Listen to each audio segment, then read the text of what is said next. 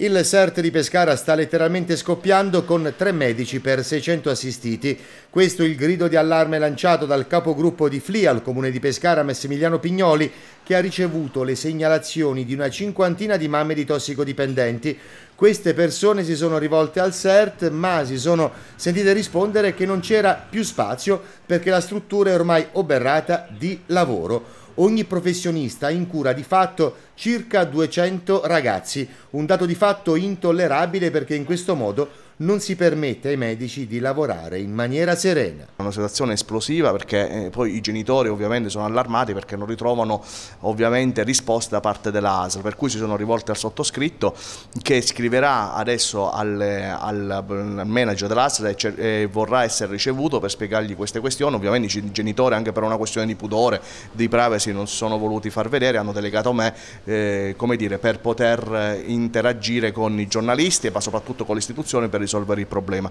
Allora, il problema è serio perché ehm, c'è solo un CERT nella provincia di Pescara che serve praticamente l'intero bacino e loro non, non, riescono più a soddisfare queste, queste esigenze, per cui la situazione è drammatica, una situazione esplosiva che ovviamente cercherò di, insieme al manager, che sono una persona